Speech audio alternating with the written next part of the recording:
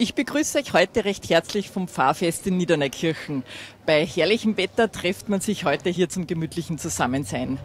Elisabeth, uns eh Sommer, du bist die Pfarrassistentin in Niederneukirchen und das heutige Pfarrfest ist ein ökofaires Fest. Was hat es damit auf sich und warum hat sich die Pfarrgemeinde dazu entschieden? Das ökofaire Fest ist halt eigentlich nur der Name, den wir jetzt auch als Aushängeschild ganz offen sagen, es ist eigentlich nicht viel verändert, weil das war uns immer schon wichtig. Es war schon immer so, dass wir geschaut haben, Mehrweggeschirr, dass äh, heimische Produkte verwendet werden, dass wir schauen, dass wenig Müll übrig bleibt, weil wenn man die Schöpfung als Gottes Geschenk sieht, dann muss man auch achtsam damit umgehen. Das ist uns immer schon ein Anliegen gewesen und heute haben wir uns das auch aufs Plakat geschrieben, einfach damit man das auch weiß. Wie wichtig ist so ein Pfarrfest für so einen kleinen Ort wie Niederneukirchen? Für unsere Pfarrer ist das Pfarrfest ein ganz wichtiger Termin, weil es einfach darum geht, auch die Gemeinschaft zu stärken. In der Kirche haben wir schon unter dem Thema Netz, das mich trägt, gefeiert und heute wollen wir beim Fest auch dieses Netz der Gemeinschaft stärken, einfach im Beisammensein, im Miteinander plaudern, im Reden miteinander, einfach das Genießen, dass man nicht alleine unterwegs ist, sondern dass wir zusammengehören. Bugner Petra, du bist zuständig für Ausschuss, Feste und Feiern in Niederneukirchen. Das Pfarrfest wird ja heute unter ökofairen Gesichtspunkten äh, gefeiert. Was heißt das jetzt ganz konkret? Ja, ökofair. Das heißt, wir nehmen Rücksicht, wir verwenden kein Plastik, wir haben Geschirrmobil mit äh, Tongeschirr, wir verwenden Gläser, keine Plastikbecher, wir haben fair gehandelten Kaffee. Wir verwenden die Hofsäfte aus unserem Ort, die unsere Bauern direkt produzieren. Wir haben unsere Direktvermarkter da, die für uns kochen, Lamm, Fisch, äh, Beuschel, Bratwürstel, alles aus dem Ort. Auch das Brot ist aus dem Ort von der Bäuerin gemacht.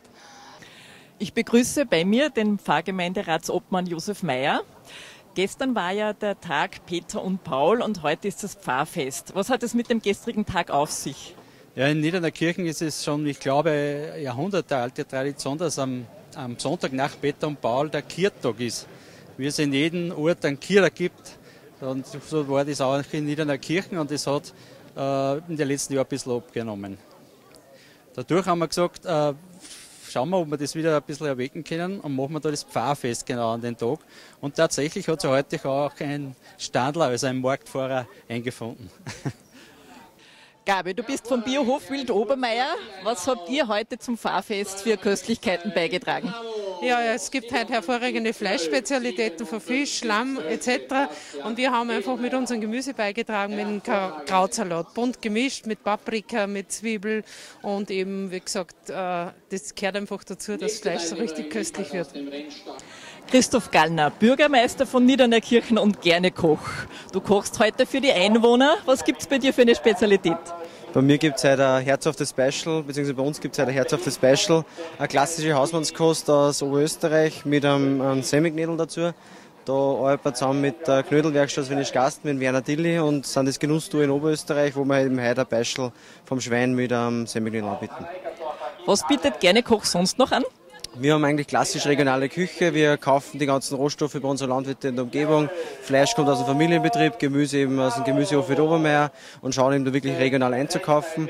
Kochen die Sachen selber, füllen sie in die Gläser ab, haben keine Konservierungsstoffe drin, keine Geschmacksverstärker und trotzdem sind unsere Gläser ungekühlt haltbar und haben von einer Rindsuppe über Kürbiscremesuppe, äh, Rindsgulasch, einen echten Gulaschsaft, der Chili con Carne, eben das Beispiel aus dem Heide ausschenken und derzeit nur eine Curryküche, die gerade jetzt bei den Temperaturen ganz gut passt.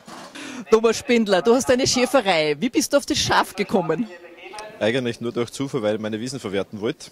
Dann habe ich mal ein paar Schafe gehabt, dann sind es ein bisschen mehr geworden und immer noch mehr. Dann ist die Direktvermarktung dazugekommen und mittlerweile habe ich fast 300. Und was grillst du heute hier? Da gibt es heute gemischtes vom Lamm, also gegrilltes vom Lamm, von der Schulter, vom Flügel, vom Rücken. Das ist ein Potpourri, dass man einfach alles ein bisschen kosten kann. Ich sehe das auch ein bisschen als Werbung dass ich einfach die Leute zubringe zum Lampe, weil immer noch große Vorurteile herrschen. Das wird zwar immer weniger, aber es ist halt ständige Arbeit und es geht gut. Anna Peraus, ihr betreibt in Niederneukirchen eine Fischzucht. Was bietet ihr heute an zu essen? Wir haben heute warm geräucherte Forellen mit, also die haben wir gestern am Abend abgeschlagen und sind über die Nacht in Salzwasser eingelegt worden und ganz frisch gereichert. Die habe ich um 4 über 10 vom Ofen aus, also frischer geht es wirklich nicht.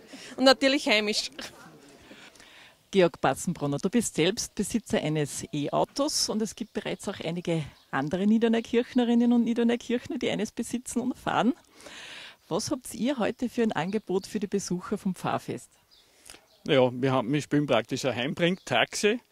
Und wenn einer Bedarf hat, wenn er zu Fuß gekommen ist und er will dann doch nicht mehr zu Fuß heimgehen, weil es so heiß ist, dann fahren wir mit Auto heim, dem E-Auto. Da sieht er ein bisschen, wie das E-Auto geht, dass es ein wunderbares Fahren ist und so kriegt er ein bisschen Kontakt mit der E-Mobilität.